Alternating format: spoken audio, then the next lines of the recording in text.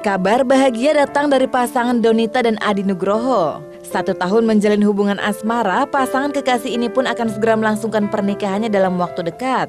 Busana pengantin pun telah dipersiapkan keduanya dengan mengusung konsep internasional. Yang pertama sih ada sebenarnya ada dua baju. Yang pertama dipakai di akad, yang kedua dipakai di resepsi gitu. Untuk akadnya karena aku suka warna putih, jadi bernuansa putih. Resepsinya warnanya fuchsia ya, warnanya fuchsia.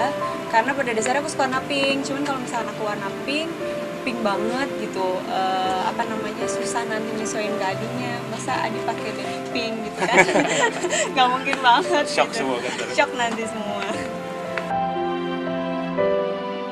Tidak seperti kebanyakan pasangan yang terlihat stres menghadapi hari pernikahan, namun Donita maupun Adi terlihat sangat santai. Keduanya mengaku memang berusaha untuk tetap santai meski disibukkan dengan segala macam persiapan pernikahan yang tidak mudah untuk dilakukan.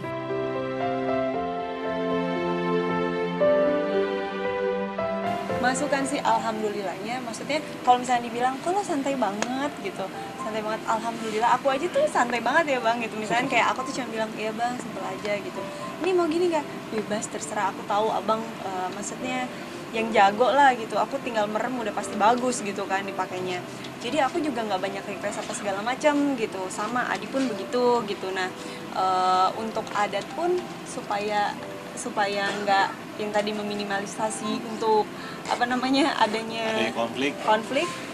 Jadi karena minim itu kita santai. Karena Betul. santai sampai semua orang bingung sampai mamaku juga bingung kok bisa santai banget?